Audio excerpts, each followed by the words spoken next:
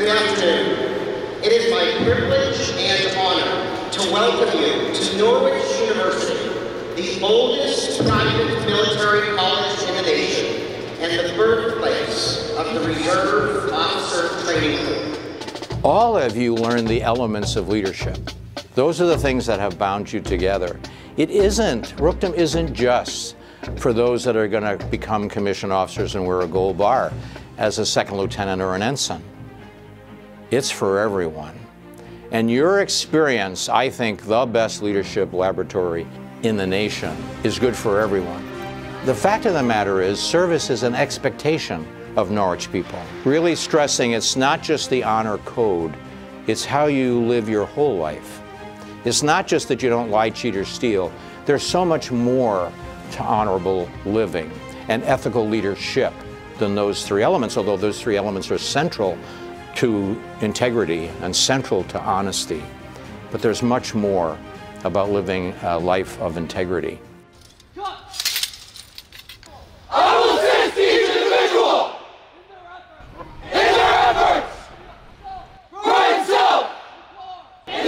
Today, right here, right now, the doors being open for a new class. The first class to kick off the third century of Norwich is producing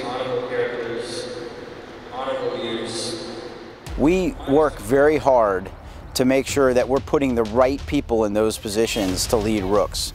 So we go through a very rigorous selection process where those cadets stand before a promotion board and they explain why they want to lead rooks and why that we why they think they would be a good candidate to lead rooks. So we do a very thorough process to try to make sure that we only promote the most professional cadets and the most mature cadets in the Corps into those leadership positions that di directly influence and lead rooks. Winston Churchill once said, courage is the foundational value that all other values are built off of.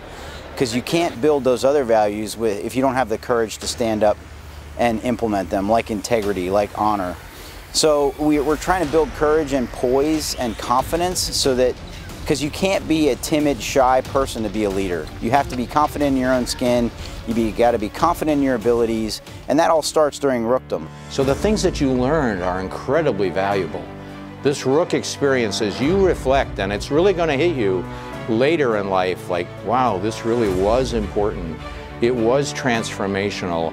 It really made a difference. There were times I hated it, but now I understand why it made me stronger and gave me the grit I needed to get through this other obstacle at 45 years old. And, and that will be how school continues to give to you in your experiences. You'll be able to draw on those lessons that you learned in Rookdom and apply them to your life in whatever situation life throws at you and it will. I would say that, you know, for the most part, I'm always uh, impressed with the, um, the perseverance of our rooks. You know, they, they endure an awful lot and they make it through. And the, I tell them every year, the reason you're going to make it through this is because you work together as a team and you help each other out. And so I've seen that over the last uh, several iterations of rooks, and I think that's the the constant through each year. The constant is that um, they're, they're, they persevere, they're resilient, and they work together to accomplish uh, what they need to. Recognition is a group event. It recognizes the accomplishments of all of the rooks, and all of the rooks should be proud about what they've experienced and accomplished over the, you know, 16 to 20 weeks or however long it is until they get recognized. Because they've really uh, volunteered uh, to do more than their normal college student in a normal school somewhere else, right? So they've accomplished, they've become more physically fit, they've become more confident, they've become more poised, they've, they've gone through a stressful experience. And um, the Rook recognition ceremony is really a testament to all of those things they've experienced over that, the course of that semester, the course of that time, uh, to get them to where they are.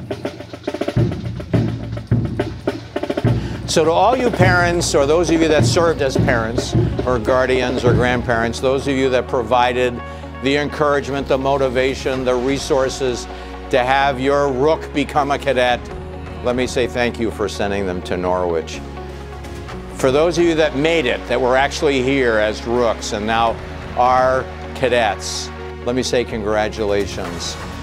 You have accomplished much, so much more than any normal college freshman, for which you should be unbelievably proud. And then you remember, I want your firstborn. I want another rook from you. And what a great thing to have happen, right? That you'd be able to talk to your son and daughter about what your rookdom was like, and they can share with you what their rookdom is like. Because I guarantee you, 25 years from now, the values will be the same, but something will have changed. Or maybe multiple things have changed because of the world changing or our Army changing and adapting. But they will still be part of this Norwich University Corps of Cadets. The binding experience, rookdom. Congratulations. Norwich forever.